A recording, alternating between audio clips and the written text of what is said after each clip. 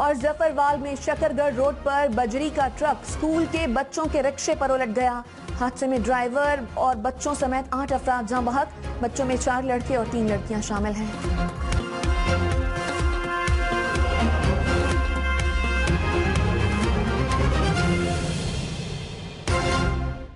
ہم نیوز میں خوش آمدید، میں ہوں شائستہ شفی ہیڈ لائنز آپ جان چکے ہیں۔ خبر ہے زفروال سے جہاں شکرگڑھ روڈ پر بجری سے بھرا ہوا ٹرک سکول کے بچوں کے رکشے پر الٹ گیا ہے۔ حادثے میں سات بچوں سمیت آٹھ افراد جہاں بحق جبکہ چھ زخمی ہو گئے ہیں۔ بات کرتے ہیں، نمائندہ ہم نیوز سمیولہ سے۔ سمیولہ بچوں کی لاشیں ورسا کے حوالے کر دی گئی ہیں۔ زخمیوں کی حالت کیسی ہے؟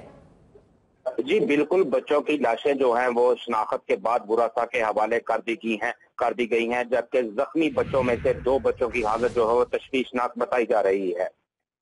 جبکہ جاں باق ہونے والے بچوں میں کنزا، ایمن، نشا حمدان یاسین، فرحان احمد اور رکشا ڈرائیور محدث جوید شامل ہیں۔ جبکہ زخمی بچوں کو ابتدائی ابتدائی جی۔ طور پر جو ہے وہ رولر ہیڈ سینٹر ظفروال منتقل کیا گیا تھا اور جو ان میں سے دو شدید زخمی بچے ہیں ان کو ناروال ڈسٹرکٹ ہاسپٹل میں منتقل کر دیا گیا ہے۔ جی۔